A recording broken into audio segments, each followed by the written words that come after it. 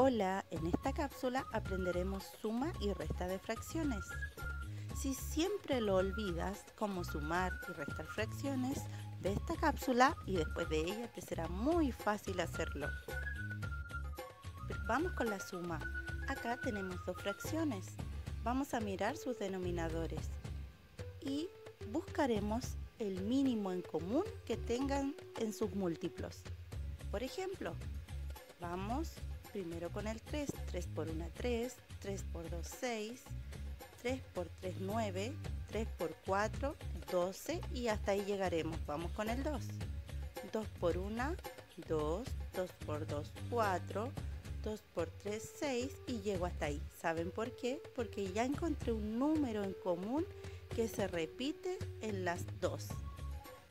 Ya encontramos el mínimo en común entre los ese es el resultado 6. Lo colocamos como denominador en el resultado.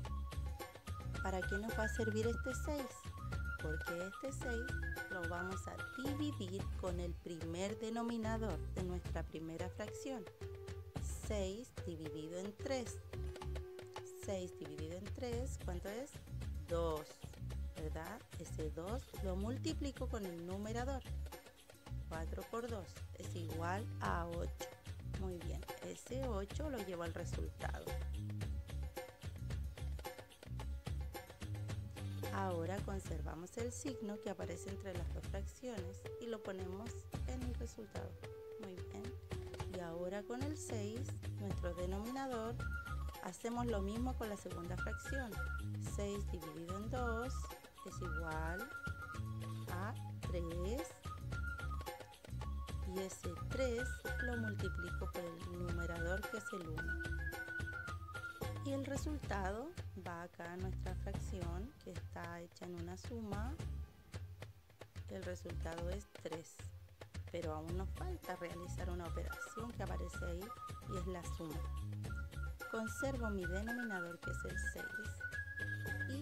Y muy fácil, arriba los numeradores 8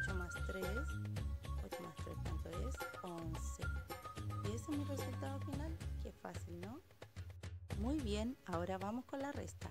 9 sextos menos 5 cuartos. Veamos cuánto es. Se hace exactamente lo mismo. Voy y busco el mínimo entre los múltiplos de los denominadores. Primero con el 6. Primero el 6, 12, 18, 24. Llego hasta ahí. Vamos a buscar en el 4 un número que sea igual al que nos dio en el 6. 4, 8, 12. Llego hasta el 12 porque ya lo encontré.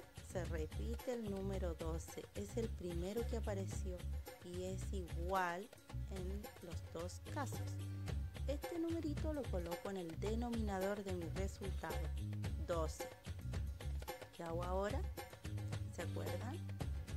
Lo divido con el primer denominador de mi fracción. 12 dividido en 6. ¿Cuánto será el resultado? Es 2. Este 2 lo multiplico con el numerador. 9 por 2 y lo coloco en el resultado 18. Ahora colocamos el signo que estaba entre las fracciones, que es menos. Es una resta, ¿verdad? No se les olvide. Y repetimos la operación con nuestro denominador. 12 dividido en 4, que es nuestra segunda fracción. 12 dividido en 4 es 3. Y este 3 lo multiplico con nuestro numerador. 3 por 5, 15. Esto lo coloco en el resultado. Con esto aún no hemos terminado nuestro ejercicio. Nos queda aún que resolver una última operación que es la resta.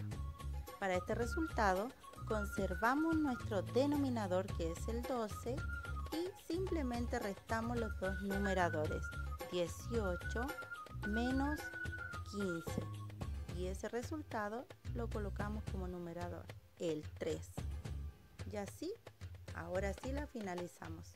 Muy bien, espero te haya gustado este video y te cueste mucho menos la suma y resta de fracciones. Gracias, nos vemos.